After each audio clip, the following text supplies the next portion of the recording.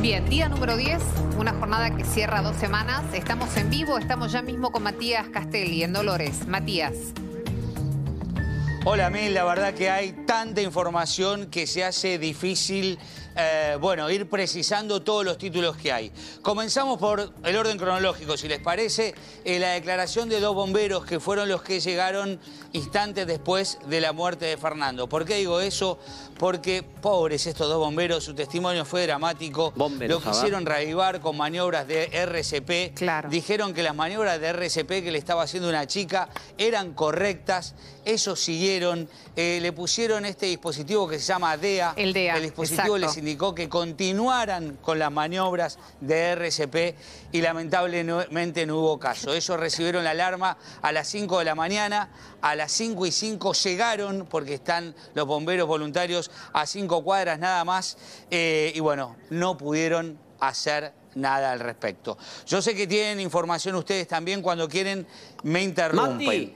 Eh, vamos a ir a... Sí. Bien, Vamos, es interesante como vas contando, como siempre. Quería destacar tu laburo de ayer en cuanto a, en tiempo y celeridad, mm. explicarnos lo que fue uno de los momentos más importantes del juicio con la declaración de Luciano Partosi. Dicho esto, vamos por los bomberos entonces, claro, pero a ver si compartís conmigo.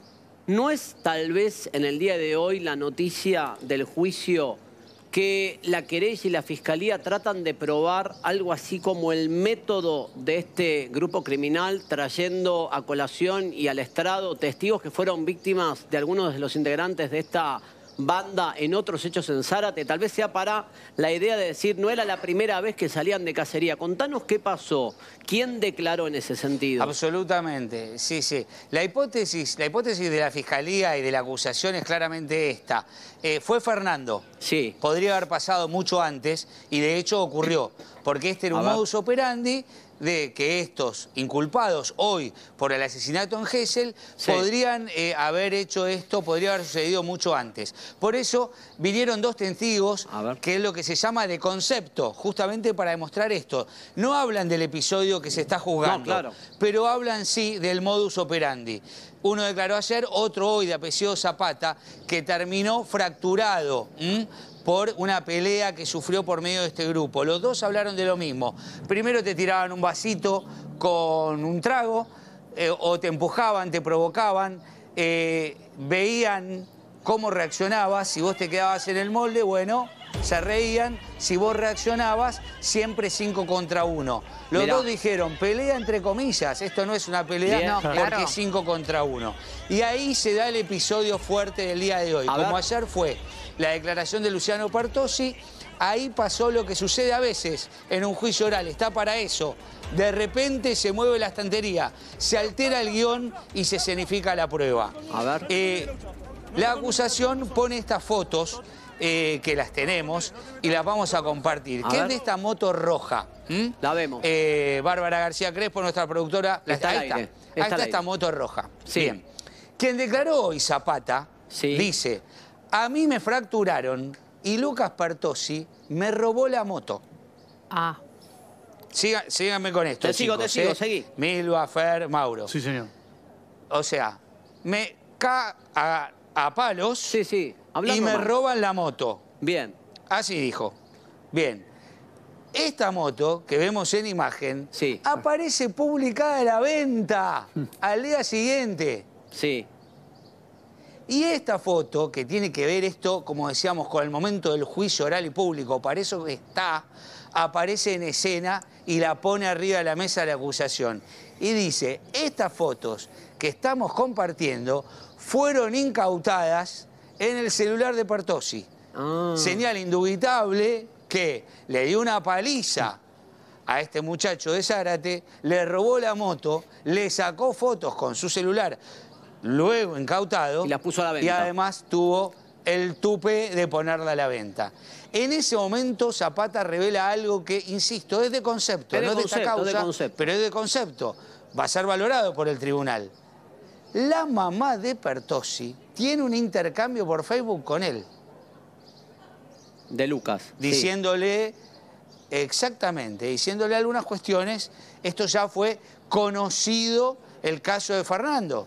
Entonces, quien declaró hoy tiene un intercambio, le dice, mire, su hijo no es ningún angelito, a mí me pasó esto hace un mes. ¿Y? ¿Se entiende? ¿Y qué le contesta? Esa comunicación luego la mamá de Pertossi la borra, por supuesto, pero bueno, es realmente impactante Pero ella, ella en esa todo comunicación... lo que cuenta Zapata. Escuchá, Mati, en la conversación que tiene Zapata, recordemos entonces, hoy está verificándose en el juicio lo que se llama el método de ataque, el método criminal que ponían a la práctica en episodios anteriores al crimen de Fernando. ¿no? Sí, Sabían el sí. vasito, te choco, te vuelco un vasito en el boliche y veo cómo reaccionas. Si me decís qué pasa, eh, emboscada, golpes. Ahora, en este hecho puntual, además a Zapata le roban una moto, la roba Lucas Pertossi y la pone a la venta. Zapata rastrea ese origen de esa moto o quien está divulgándola para la venta y tiene una conversación después del asesinato de Fernando con la mamá de Lucas Pertossi. Ella le contesta y borra las respuestas o llega, o llega a existir una respuesta de parte de la madre de Lucas Pertossi.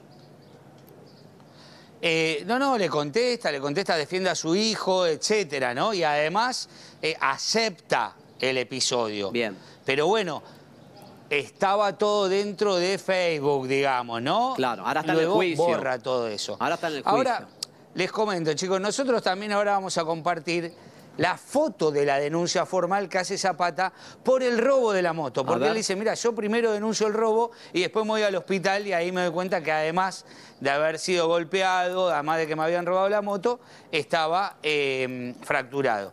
Si les parece, y ahora analizamos esto, esta denuncia, vamos a escuchar a Burlando Ah, dale, qué dale. valoración le Dale. da Dale. a esta declaración de, De eh, de Zapata. concepto. Dale. Importancia de la declaración de Pablo Sí. Zapata. Bueno, es muy importante, habla de un modus operandi, lo atacaron entre varios. eh, si bien quien, quien lo castiga es, este, es Lucas este, Pertossi, en definitiva habla de, de lo que hacían, ¿no? de los desmanes. Le robaron la moto, le dijeron te, te voy a matar y te, va- te voy a robar la moto. Empezó por la moto, después no sabemos qué iba a hacer. O sea, ¿eh? Entonces, una denuncia previa? Está la denuncia hecha, a veces este, las fiscalías trabajan con ese lamentable desgano. Porque si nosotros, pues si, la fiscalía de, reitero, si el Departamento Judicial de Dolores, si la Fiscalía de Villa Gesell encontró esas fotos, me, pare- me parece preciso aclarar que el robo está esclarecido. ¿eh? O sea, la moto la tenía Pertossi, le sacó fotos, se burló también, se jactó ¿eh? de- de- del robo, ¿eh? tomando esas, esas fotografías. Está bien lo que dice Burlando. Claro. Dale, dale. O Ping sea, pong, Ma- ping pong. Mati. Tengo algo para pimponear de esto. Dale, Sí, perdón. dale, dale, pi- pimponeemos, como decís vos, te escucho, dale. Está bueno, no, te- te- es que justamente, ¿no? En coloquial, eh, Fer, Milva, Mauro. Esto fue el 15 de diciembre, este episodio, que habla de una paliza. Un mes antes. Cinco Y el contra 18 uno. de enero matan Lucas a- Pertossi señalado. El 18 de enero matan a Un Fernando. mes y tres días después. Exacto. La pregunta, esto es periodístico y es también judicial, que queda flotando del aire. Si esa denuncia no hubiera quedado durmiendo en un cajón, En Zárate. aunque sea este muchacho, Uno estaba ¿no, en hubiera, ¿no se hubiera calmado un poco? O por lo menos, a ver, yo te sigo Este el razonamiento. operandi. No se hubiera, si, lo Sí. si lo hubieran ido a detener, mire señor, usted está publicando una moto que es robada. pará, Mati. eh, hay un denunciante que dice que le dieron una paliza. Sí, ¿No se pero- hubiera cortado esto? Eh, uno, uno tendería a pensar que sí, pero te voy a decir algo. En el episodio que cuenta Zapata, Pablo Zapata, solamente menciona a Lucas, ¿correcto? A Lucas Pertossi, ¿no? No menciona al resto de los imputados. Pero voy a- Solamente. voy a, tu, sola- razona- voy a tu Dice que estaban razonamiento. por ahí, que los conoce. Bien, pero vea tu razonamiento. Imaginemos que la Fiscalía de Zárate no hubiese cajoneado, como dice Burlando, la causa eh, por el ataque a Zapata y el robo de la moto. Imaginemos que hubiesen avanzado y lo hubiesen detenido a Lucas Partossi y era un delito en ese momento escarcelable por la tipificación de lo que vos estás contando.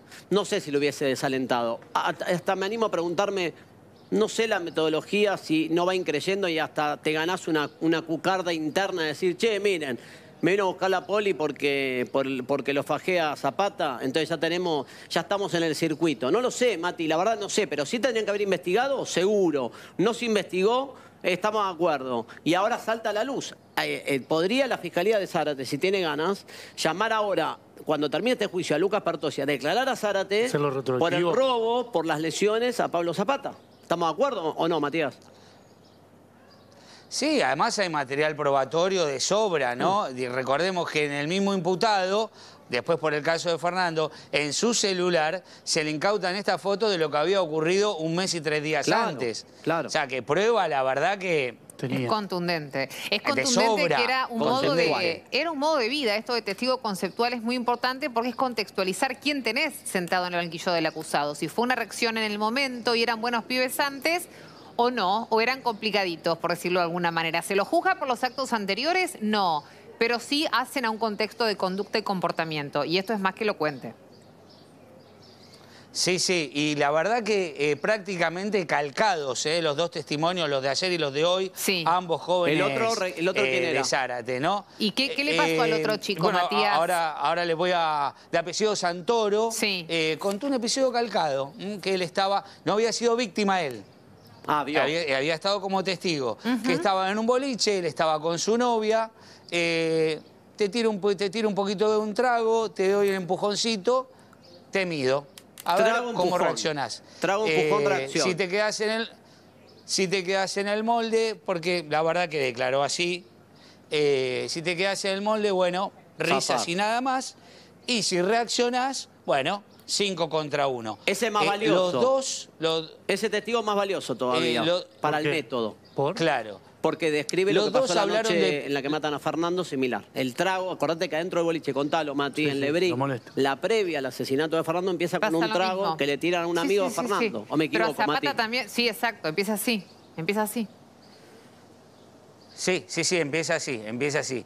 Como, como que eso era eh, el inicio, el inicio de este tipo de situaciones que evidentemente la que terminó en forma fatal con Fernando no eran nuevas, ¿no? No eran No, nuevas, era un claramente. modus operandi. Y con este atención, segundo- atención, porque esto, esto va en línea con lo que quiere demostrar la acusación, ¿no? Exacto. Claramente. Por eso los trae, por eso los trae. En este segundo caso, eh, no en el de la moto de Zapata, en el otro chico, eh, hubo una pelea, no una pelea, una, un enfrentamiento, lo atacaron después o, o no, no, fue pasó. testigo. Fue testigo, Santoro. ¿Vio que le Sant- pegaron a alguien? Santoro, el de ayer, Santoro lo que dijo ayer, esto es textual, dice, no, eh, bueno, en la pelea eran cinco contra uno. Dice, no, bueno, pelea entre comillas, porque cinco contra uno Claro. no es pelea. Lo que me llamó la atención fue eso, un chico corriendo y cinco atrás. Perfecto. E individualizó a algunos de los que hoy están en el banquillo eh, como agresores y a algún otro como que estaban en el grupo, ¿no? Pero que no lo habían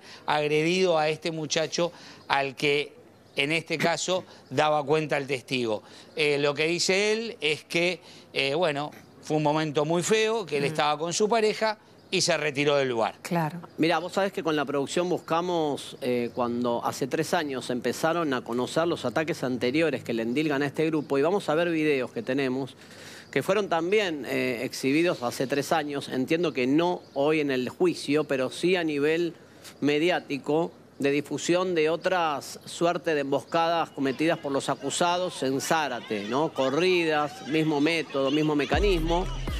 Quiero dejar en claro que no es que una condena o una absolución se basa en este análisis de un video o de un hecho precedente, como dijimos. Simplemente le da un contexto. Le va a servir a la fiscalía y a la querella para decir, este grupo se dedicaba a esto. ¿Y sabes qué te va a decir la defensa? No, no se dedicaba a matar, se dedicaba a pegar, no a matar. La defensa va a ir por ese lado. La Pero defensa te decir, podés representar, Sí, te eh, podés representar que si pegas mucho o pegas fuerte o Sí. son muchos contra uno, podés matar. También, puede decir la fiscalía. Pero digo, me parece que la discusión de este juicio, y creo Mati cada vez se ve más, va a estar centrada, y es la discusión de fondo, en cuántos de los ocho van a recibir una pena por homicidio agravado, cuántos como partícipes y cuántos por un delito más leve que son lesiones respecto de los amigos de Fernando. Si te basas en lo que piensa la fiscalía y en lo que piensa Burlando, los ocho son coautores de un plan, de una premeditación para matar. Si te basas en la defensa, que todavía no ha bajado sus cartas del todo, creo entender que van a buscar una hipótesis de un homicidio en ring y a bajar lo máximo posible la pena de dos a seis años para los que pegaron y al resto ponerlo por lesiones por pegarle a los amigos de Fernando. Ahí va a estar la discusión, discusión que se va a conocer al momento del veredicto. Hoy estamos lejos todavía de eso. ¿Cuánto le queda al juicio, Matías? ¿Y qué va a pasar el lunes? No, al juicio, al juicio le quedan tres días nada más. Y atención, porque en los próximos tres días vienen, eh, bueno, los que declaran por la defensa, o los que testimonian por la defensa. Eh, va a haber padres de los imputados, eh, va a haber, van a declarar los dos amigos, el los rugby, número 9 y número 10, que fueron sobreseídos. Ojo con esa declaración, que no terminen inculpándose o como tienen la obligación de decir la verdad, no digan algo más. Porque, insisto, son dos integrantes del grupo, Guarino y Milanesi, que estuvieron detenidos y que después fueron sobreseídos.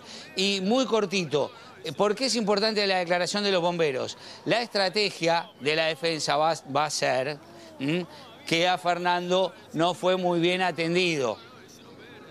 Entonces es muy importante lo que dice el médico, los bomberos sobre el RCP, etcétera, que se le hizo. Pero si les parece, chicos, cambiamos un poquitito el enfoque. Eh, hace minutos nada más, cuando terminaba la audiencia, eh, pudimos ver de primera mano cómo esta ciudad de Dolores se siente muy, pero muy involucrada con este caso aplaude, acompaña a cada paso a los papás, ¿no? a Silvino y a Graciela. Recordemos que en, este, en esta ciudad se reciben los casos judiciales de toda la costa atlántica. Claro. Pero este caso, como fue, como fue tal vez solamente el caso José Luis Cabezas, significa un antes y un después toda la comunidad muy comprometida con los papás. Miren esta caminata que tuvimos con él